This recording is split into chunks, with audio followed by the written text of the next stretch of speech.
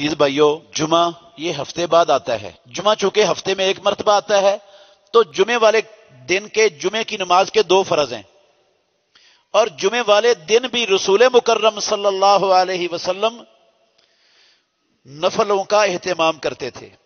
जुमे से पहले जुमे से पहले जब तक इमाम मिंबर पर नहीं आता, उस वक्त तक जो लोग आते हैं उनके लिए नवाफिल की कोई मिकदार मुकर्र कोई तादाद मुकर्र नहीं है।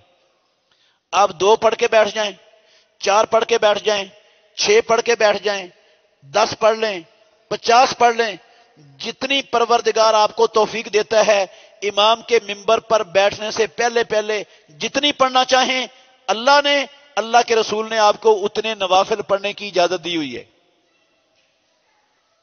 नवाफिल नहीं पढ़ने दरूद पढ़े मोहम्मद रसुल्लम पर। ये जुमे वाले दिन दरूद पढ़ने की खसूसी तलकीन की है मदीने वाले इमाम मोहम्मद रसुल्लम ने। दरूद पढ़ के थक गए हैं, कुरान मजीद की तिलावत करें, दूसरे अजकार करें, इंतज़ार में बैठें कि इमाम आएगा और फिर हम खुतबा सुनेंगे।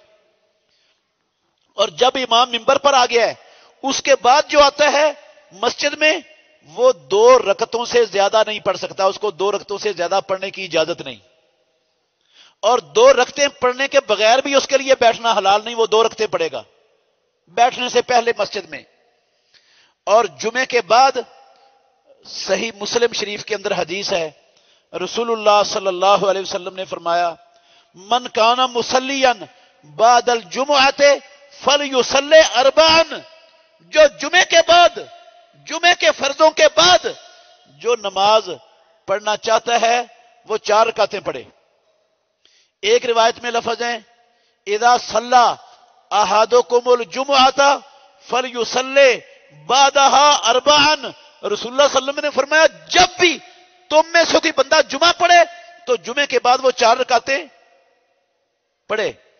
और खुद रसूल मुकर्रम सल्लल्लाहु अलैहि वसल्लम के अमल से भी जुमे की नमाज़ के बाद चार रकतें पढ़ना साबित है। अब्दुल्ला बिन उमर रज़ी अल्लाह की एक हदीस है, सही बुखारी में भी है, सही मुस्लिम में भी है। उसमें है कि मैंने रसूल मुकर्रम सल्लल्लाहु वसल्लम से दस रकतें खूब याद की हैं मैंने। उन दस रकतों में वो जुमे के बाद दो रकतों को शामिल करते हैं। तो दो भी पढ़ी हैं रसूल वसल्लम ने, लेकिन चार पढ़ने की आपने तरगीब दी है, चार पढ़ने का आपने हुक्म दिया है, और चार पढ़ना, ये दो पढ़ने की बनस्बत जुमे के बाद अफजल है। बाज अहले इलम का ख्याल है कि अगर मस्जिद में पढ़नी है तो चार पढ़ेगा बंदा। अगर घर जाके पढ़नी है, ये जुमे के बाद वाली नमाज़, रकाते तो फिर घर जाके दो पढ़ सकता है। लेकिन इस तकसीम की, इस तकसीम की मुझे कोई दलील नहीं मिल सकी है कि मस्जिद में पढ़नी है तो फिर चार और घर में पढ़नी है तो दो। मस्जिद में भी पढ़नी, जुमे के बाद चार अफजल हैं। घर जाकर पढ़नी है तो वहाँ भी चार पढ़ना ही अफजल है। मस्जिद में दो पढ़नी जायज़ है और घर जाकर भी दो पढ़नी, सिर्फ़ दो पर भी इतफाक कर सकते हैं, चाहे मस्जिद में पढ़े, चाहे घर में पढ़े, जायज़ है। लेकिन अगर चार पढ़ेंगे खा मस्जिद में पढ़े या घर में पढ़े, दो मस्जिद में पढ़े, दो घर में जाकर पढ़े, चार पढ़ना अफजल है। तो ये रसूल मुकर्रम सल्लल्लाहु अलैहि वसल्लम की जुमे की नमाज़ से पहले वाली और जुमे के नमाज़ से बाद वाली ये रखते हैं, उन उन इकतीस के साथ आप इनको भी शामिल कर लें तो ज़्यादा हो जाएँगी।